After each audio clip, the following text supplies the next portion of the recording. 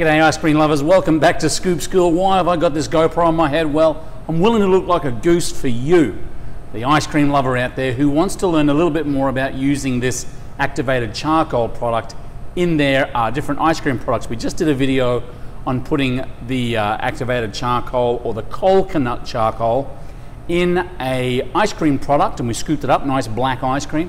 Here we're gonna make a black waffle cone, relatively easy. We're gonna jump straight into it on this GoPro. Okay folks, so here we are. We've got our Kobatco waffle iron. We always love Kobatco.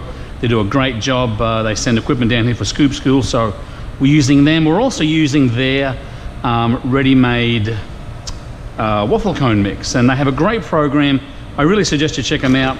Uh, if you're using the waffle cone machine uh, and you're using the mix at the same time, anything goes wrong with this machine, they'll basically ship you a new one free of charge. Great people down there. Talk to Brian. Good fella. Okay, so this is our already made up waffle cone base. I put a little bit of vanilla extract in here. I really like putting vanilla in here because I think that it's one of the things that really signifies um, a difference in product. You can put a little bit of cinnamon, a little bit of nutmeg, what we're going to do here is again, we've done a couple of videos on this coconut product, uh, food grade activated carbon ultra fine powder. So again, have a look at a video, a few videos back. We do a bit of a rundown on the pros and cons for using this product.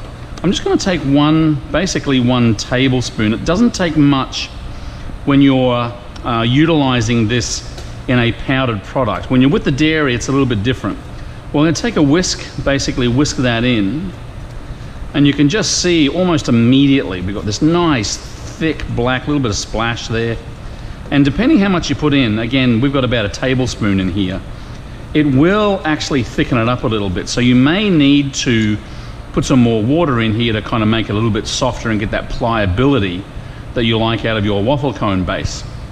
Remember that this product is used in hospitals to absorb um, toxins and drugs out of people who have either overdosed accidentally or on purpose. And so you'll find that it will actually thicken things pretty quickly. You can see that's a, just a great consistency there. Oh yeah. It's gonna make a bit of a mess. No bars about it. Pop this over here.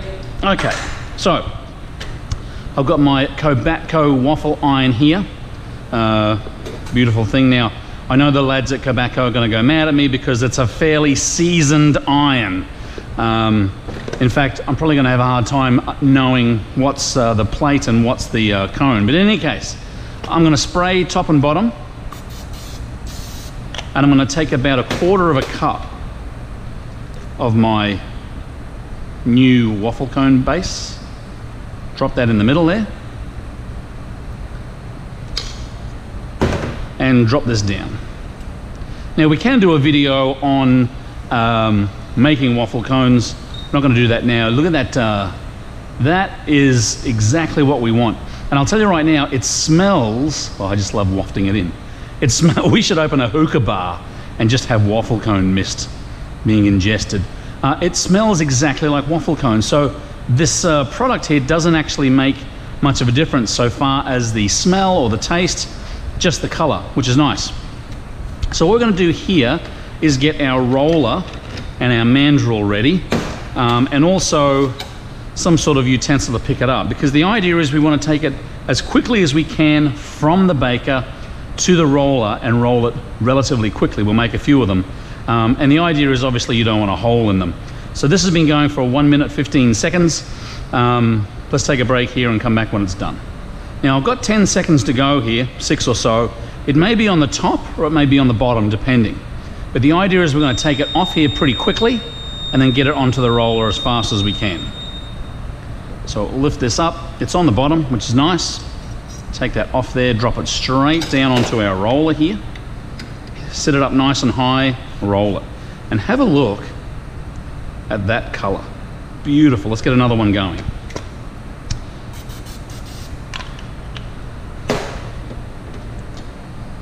It's like a, it's like a witch's cauldron. In fact, if it was my ice cream shop, I'd be doing these out in front of people all during the evening.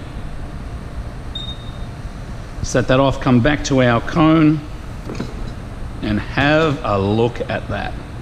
Oh yeah, a beautiful, rich black cone that uh, has the look and the smell and the taste, not the look, the smell and the taste of a regular waffle cone, but black, jet black. Unbelievable. We'll put another one in, see how it goes. Okay, ready to roll again. That's our uh, one minute mark. Pop this baby off on the bottom again, get right up underneath it. It is warm, don't kid yourself. Sit it up nice and high in the roller there. Roll, roll, roll. As soon as that last little portion goes underneath, a little bit of a push forward. I like to make sure that there's just a little bit of that cone sitting on the outside or I can see it at the end of this roller so I know it's going to give me a nice kind of firm seal. And here's our second cone. Oh yes. Can you see air through that? No. Got to line it up with my head. There we go. So there you go folks.